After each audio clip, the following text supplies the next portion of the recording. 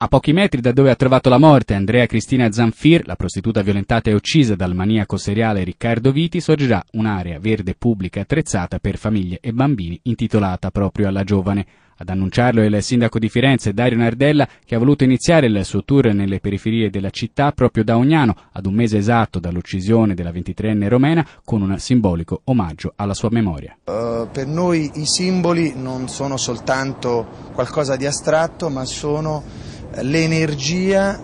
eh, per poter realizzare cose per i nostri cittadini, contro la violenza per la nostra comunità. Tra le novità in arrivo, ha illustrato Nardella incontrando i cittadini della zona, il via libera ai lavori del bypass di Ugnano Mantignano, la banda larga e interventi antidegrado. Presenti anche la neo-assessore all'ambiente Alessia Bettini e il nuovo presidente del quartiere 4, Mirko Dormentoni, che hanno accompagnato il sindaco nel cuore del quartiere dell'Isolotto, dove sta per partire il bando di riqualificazione della piazza del mercato. La lotta contro la sicurezza, contro la violenza, contro il degrado comincia dal ripopolamento dei luoghi pubblici della città, dalla vita e dalla vivibilità dei luoghi pubblici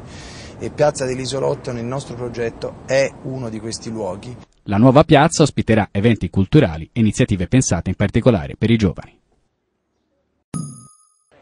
potevano essere le amministrative dei record per il PD toscano e invece no, anche se alla fine i democratici hanno vinto in 164 comuni su 204 al voto e davvero non è poco, la sconfitta di Livorno brucia e parecchio, visto che a battere il candidato a sindaco del PD Marco Ruggeri è stato Filippo Nogarin, il candidato del Movimento a 5 Stelle, l'avversario politicamente più temuto a livello nazionale. Il segretario regionale del PD Dario Parrini ha dichiarato che non ci saranno rese dei conti, ma che qualcosa dovrà cambiare cambiare per riconquistare Livorno fra cinque anni come già è avvenuto a Bologna a Prato. È chiaro che dovremo fare una buona opposizione in Consiglio Comunale,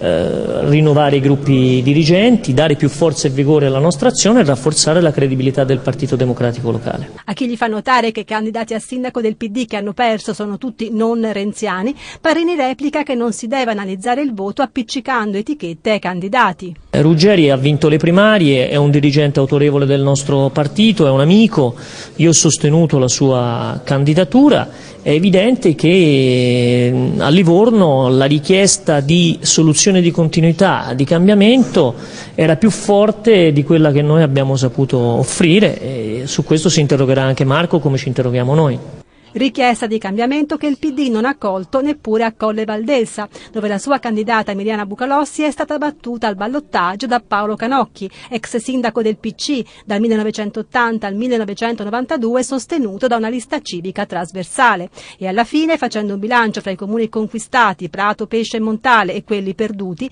Livorno, Colle Valdesa e Fiesole, il PD chiude in pareggio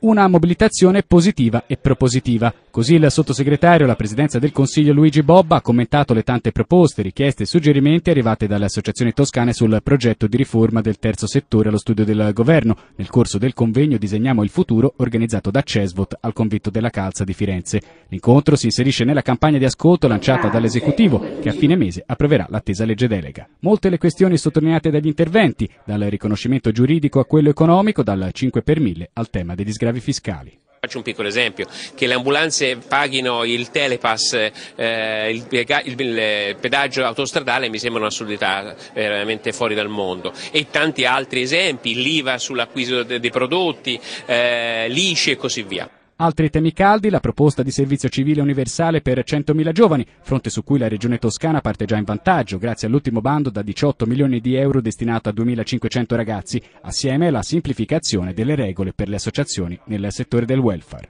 A partire anche da uno snellimento delle norme per l'affidamento dei servizi a livello locale a tanti soggetti del terzo settore e alla cooperazione di tipo B che è essenziale per attuare una politica sociale più efficace.